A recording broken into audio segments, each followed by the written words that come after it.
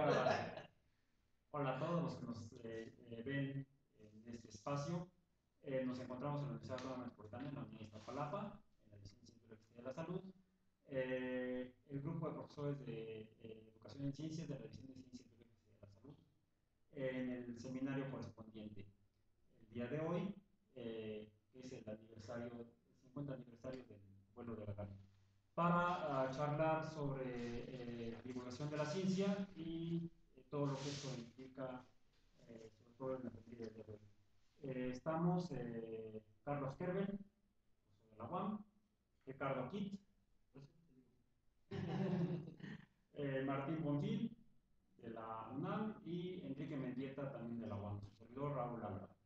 entonces, vamos a ir tocando cuatro puntos en particular. Eh, eh, y vamos a ir uh, opinando cada quien al respecto cómo eh, vemos la divulgación de la ciencia. Entonces, me gustaría que alguien se lanzara al ruedo como voluntario para comenzar. ¿Qué es la divulgación de la ciencia?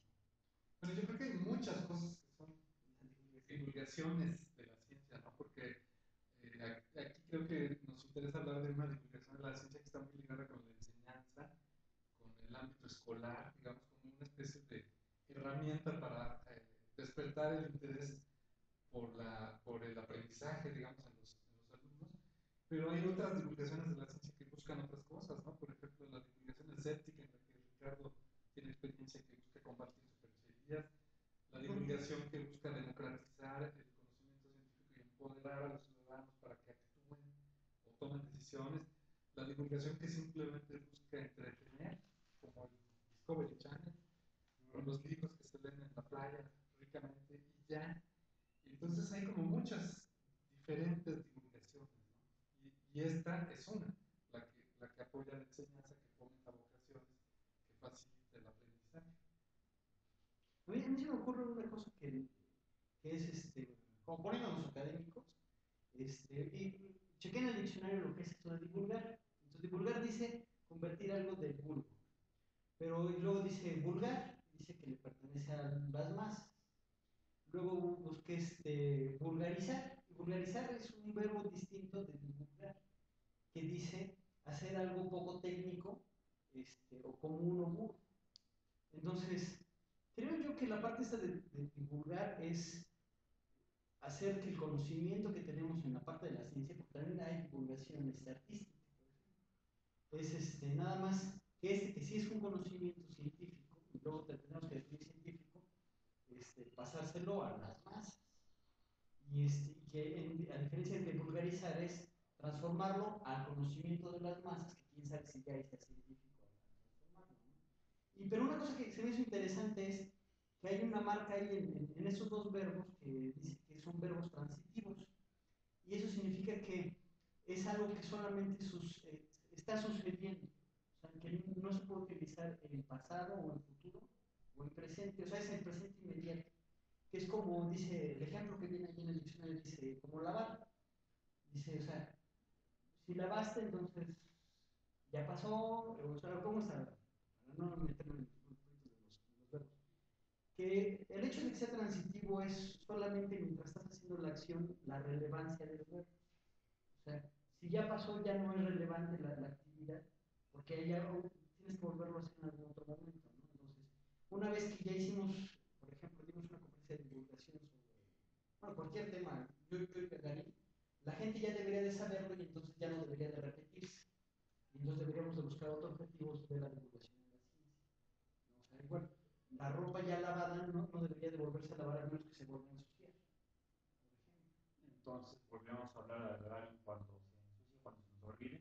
Cuando se nos olvide o cuando haya algo, nuevo, ¿no? Pero con suerte nunca va, vamos a terminar de saberlo todo en la ciencia, ¿no? Pero este, la expectativa es que una vez que el conocimiento lo hagamos del vulgo, este, ya no va a ser necesario volvérselos a dar, porque ya pertenece. Y yo, yo me acuerdo, pienso así como en canciones, este, que de repente la Talía y la Paulina Rubio me doy cuenta y tienen una que se llama causa y efecto y la otra tiene acción y reacción. Pero no podríamos hablar de esos dos términos tan comúnmente o tan vulgarmente si hace 300 años no se hubiera ocurrido a Newton, ¿no? O establecer la regla entonces permea tan, Hay, hay otro ejemplo que me acuerdo que es el de ideología. Carlos Marx inventa la ideología como un, un estudio universitario. Entonces tú ibas a la universidad a hacer tu licenciatura en ideología. Y luego fue tan importante el concepto de ideología que lo metieron como materias en todas las carreras. Y luego fue tan común el que fuera la una materia en todas las carreras que se convirtió en un concepto que todo el mundo utiliza. Y ahora, ahora el, término ideología no requiere que le dediques cinco años para determinar tu ideología. Tú dices, yo soy rockero por ideología o científico por ideología. Y se acabó, ¿no? Y todo el mundo cree que tiene una ideología. Entonces, es como algo que en algún momento fue muy especializado se hizo del mundo. Y ya todo el mundo lo tiene. Y ya no hay por qué discutir. Bueno, creo que no. A ver, Enrique. Sí. A mí ahorita me llamó la atención algunas cosas que, que se comentaron, sobre todo en el contexto este, académico. Si se trata, digamos, de cambiar de alguna forma el lenguaje para que sea más comprensible. Cuando nosotros enseñamos algo en primaria, ¿qué estamos haciendo? ¿Estamos educando o estamos divulgando? Ahorita, ahorita como que me brincó ese, Bueno, ese- esa, esa idea. ¿no? Una de las cosas que nos ha costado mucho trabajo ah, definir a los divulgadores es precisamente la diferencia enseñanza y divulgación. Y la palabra educación es, es confusa porque Pero es educación, más complejo. educación puede ser cualquier cosa, ¿no? Esta es Pero si salud. lo, si lo concretas la enseñanza y sobre todo la enseñanza formal, eh, aún así se parece mucho. Y la diferencia es que la divulgación es una actividad voluntaria. El público al que te diriges es un público voluntario, que no tiene un compromiso ni tiene que, que cumplir ningún requisito. Si se le da la gana, participa en esa actividad y si no, no. Y en la enseñanza formal no hay esa libertad, hay un compromiso de algún tipo de evaluación, de asistencia, de, de calificación, etc.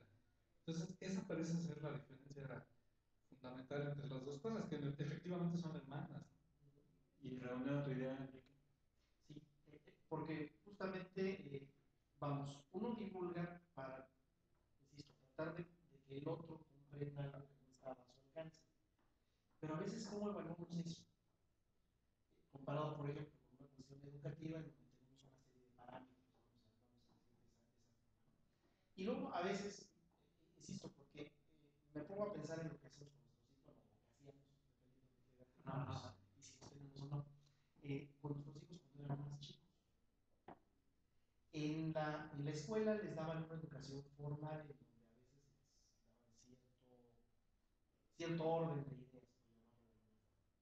Pero nosotros en la casa, sobre todo los que nos dedicamos un poquito a este negocio, lo enseñábamos de una manera diferente, componernos. O, pues sí, por, efectivamente, a veces más que componer. Más quizá con un enfoque de divulgación Habrá que ver qué tan voluntario era, era nuestro hijo estando ahí sentado y no pudiendo salir corriendo. porque, pues, No, espérame, te quiero decir una cosa. Pero vamos, es, es esa, esa rayita así como que de repente es medio confusa. ¿A, a- a dónde voy? Porque si de repente confundimos la divulgación con la educación y concedemos que hay muchas formas de divulgar, desgraciadamente muchas incorrectas. A veces la divulgación puede generarnos una especie de antecedente pernicioso contra la, contra la educación científica en lugar de ayudarnos. Eso ya es de una, de una manera equivocada. Y mientras más temprano eh, entremos en este tipo de conflicto, pues más difícil va a ser la reeducación cuando lleguen a los niveles superiores. A ver, como llegando a cerrando el círculo en este primer punto, Carlos, eh, Yo me quedé pensando ahorita algo que dijo Martín.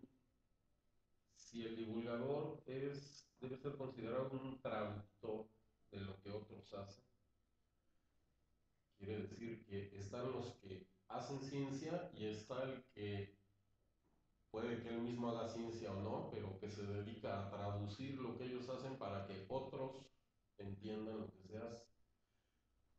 Y eso convertiría al divulgador en una especie de intermediario